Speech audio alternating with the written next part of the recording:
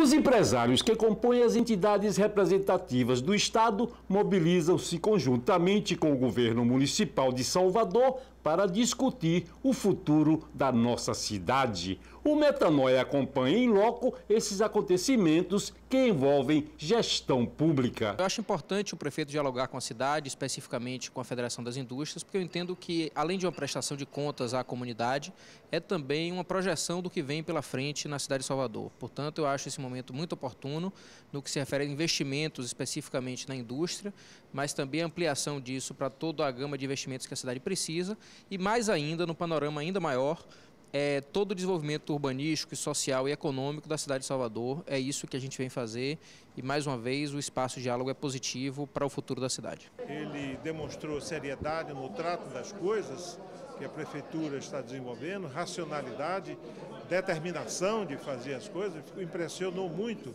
o domínio que ele tem de todos os assuntos que foram tratados aqui, foram, foram amplos os, os assuntos de maneira que ele causou uma boa impressão e a Prefeitura e a Federação das Indústrias eh, será um, um, associado, será um parceiro dele em tudo que ele fizer em favor da cidade, eh, certamente vai contar com, nosso, com o nosso apoio. A FIEB passa a ser um parceiro real da cidade, como tem sido também parceiro do, do governo do Estado toda vez que é solicitada, e quanto mais solicitado nós somos, mais participação nós teremos. A cidade do Salvador é abraçada por diversas entidades representativas do setor produtivo baiano.